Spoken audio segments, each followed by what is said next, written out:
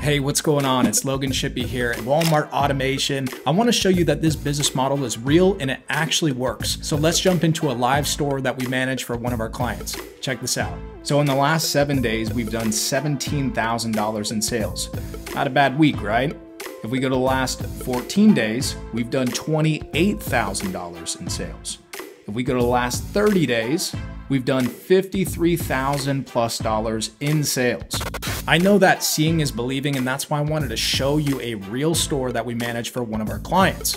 This business model is not too good to be true. There's a lot of work that goes into it. We source, we hire, we train employees, and then we designate those employees to do everything from product research to listing products to processing orders, handling returns, doing all the day to day operations on your store. Your responsibility is to supply the capital, and then we run the business and we scale it to do 50 to 100 plus thousand dollars per month in sales. And I can show you exactly how this business model works if you click the button down below this video.